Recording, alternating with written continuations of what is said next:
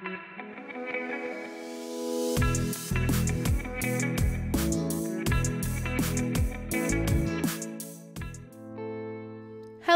and welcome to my new video. If you're new here, hi, I'm Lex, and today we're going to be going through 15 different examples of symmetry in Animal Crossing. I think that symmetrical builds can be just incredible, and I managed to find so many that I think will blow your mind. Before we get started, thank you so much to my members. For those of you who missed it, I have updated the perks so that all members, including friends, are in the shoutouts. So, yeah, let's get started. First, I wanted to visit the absolutely stunning island of Carbonara by my friend Enna. We affectionately refer to this island as Carby. Isn't this symmetry just beautiful? And I mean, it's like extended symmetry because, yes, we have this first little courtyard here, but as you keep going, there's even more across the bridge where I'm standing now. Look at that. This little fountain centerpiece, I almost said center plaza. Same thing. But even the flowers on either side are symmetrical. The level of detail here is incredible. The same thing over here, from the bushes to the flowers to every single furniture item, it's all symmetrical. It blew my mind, truly. Up next, I was immediately taken aback by how colorful this island is, but check out this overlook. I mean, how beautiful is this? I had to do like a double and then a triple take just to absorb what I was looking at. All of the red is stunning, and of course, if you're looking at this, you'll see that it's not perfect symmetry, but I think that symmetrical elements are enough, and that's what I'm looking for here. Like, we have the carnations on either side of the museum entrance and the outdoor baths. It was just wow. I think that symmetry works really well on the more elegant city like islands. I think that you find it quite a bit there because it just makes sense for towns and cities to have these symmetrical areas. This little courtyard is no exception. It is so beautifully set up. I love the hedges all around and the simple panels and standees behind just really help set the scene. I attempted to get back there because I wanted to look at them closer, but you can't get around. Either way, I was very thrilled with this. Absolutely beautiful. Speaking of city like towns, I thought that this was incredible. I was living for the autumn vibes here, all of the pumpkins and everything, and I was really impressed with just how symmetrical it all was. Like, not just on the ground, but even the upper level, the very entrance with the benches and the pumpkin towers. Is that what they're called? Also, I decided to hang out with Luna because I realized she was visible back here. Look how cute she is. Underrated queen.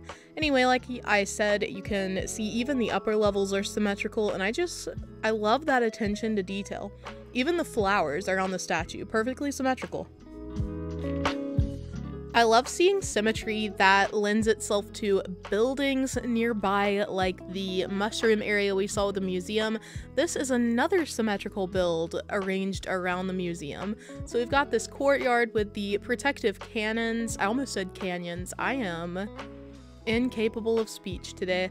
But look how beautiful this little courtyard is. I thought it was so cute. I love the colors. I loved how lush it feels despite the fact that we're in a city courtyard. And I got really distracted just looking at the grassy path on the stone. Like it looks just like the grass in the game. That's so cool. Isn't it? Oh, that's so cute.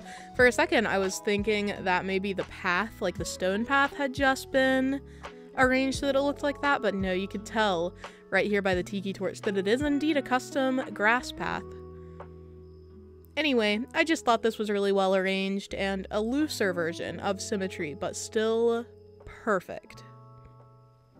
Speaking of looser symmetry, I think that you can also make it work just using the buildings at your disposal. So in this example, this island has a neighborhood that is set up symmetrically. So there are four houses all arranged like this. I think they're all very cute and the decor around them is not symmetrical but you still get that feeling of symmetry, even though it's not perfect block for block symmetry. I think that's important to remember. Symmetry can be good in small and large doses. Also, I thought those train tracks were so cute, but that's not what we were focusing on. Look at this little courtyard. I don't know what to call it. It's like a plaza. It's right here at the entrance between the airport and resident services. Again, we see bushes, flowers, all the furniture, everything was symmetrical, and that was so impressive to me. Even the fencing was like perfectly symmetrical.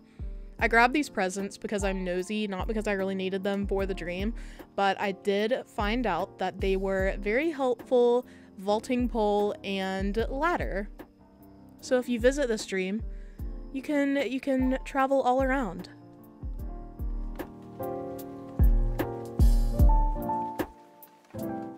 I also wanted to talk about how symmetry can be pretty sneaky on some islands. I was looking at this island and the back of resident services is arranged like a little frog head. Look at it. I am begging you to look at it.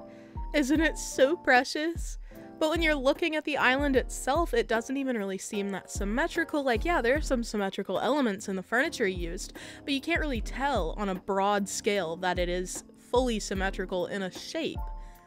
Isn't it so cute though? Loved it. And this wasn't the only island that had an interesting symmetrical aspect involving the map. This island was just stunning all the way around, but I was particularly interested in this orchard.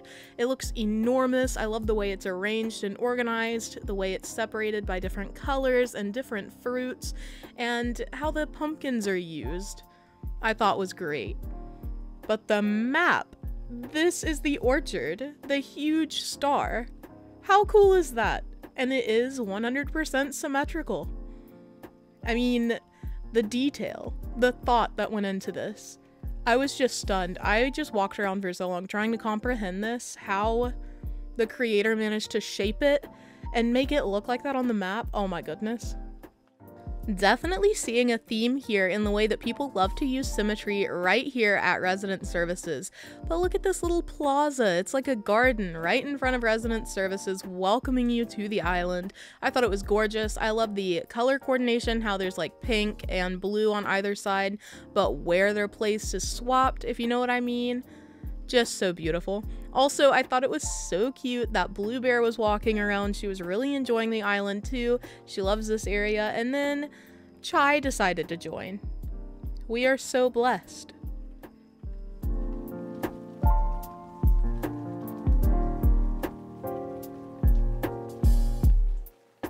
Another very lovely city example of symmetry is this house that was built. To me, it was like a palace.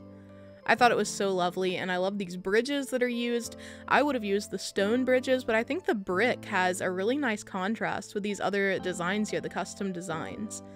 And also the black fountain. Everything is it grabs your attention, and I really respect that. I also love how the hedges, like the hedge fencing, peeks out over the simple panels that make up the walls.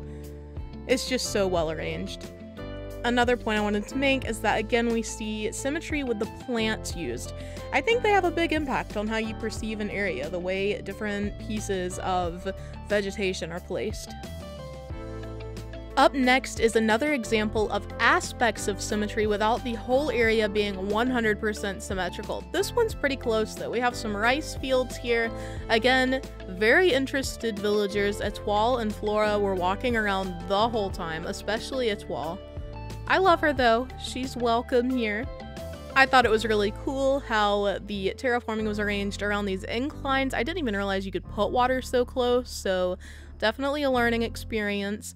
But I think the furniture placed to break up that symmetrical feel is really, it's a nice touch. It makes the area feel super dynamic, even though it has that symmetry.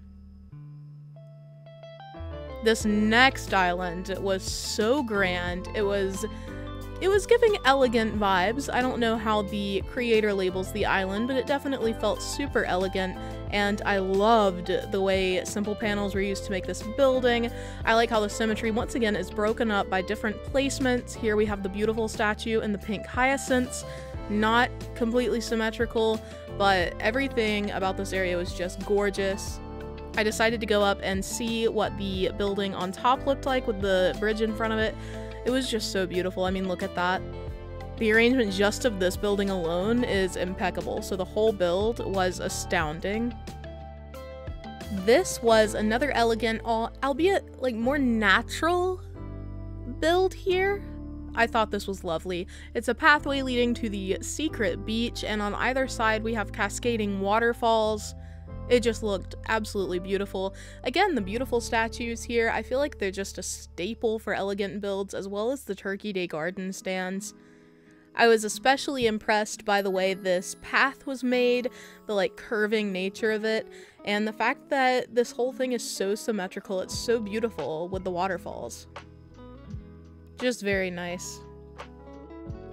Up next, we have very symmetrical terraforming here.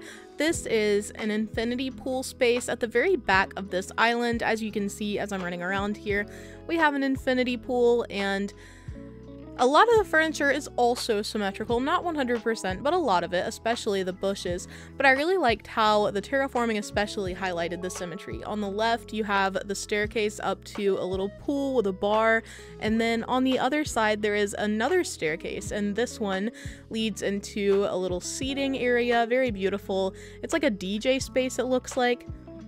Maybe a mini party. Also, Joey loves it, so we love to see that on that note, that's all I have for you today. I hope that you enjoyed these builds. I think that all of these symmetrical builds were just so beautiful and inspiring, and I can't wait to keep working on my island that has a lot of symmetry as well. I hope you all have a lovely rest of your day. Here's Peaches to tell you all goodbye for now. I love you guys so much. I just wanted to say one thing before I leave. Thank you so much, Lisa, for commenting on Lexi's videos. I've seen you everywhere in her comments, and you always say hey to me. And I just wanted to say hey back, and I really appreciate you saying hey to me. And I'll see you guys in the next video. Bye!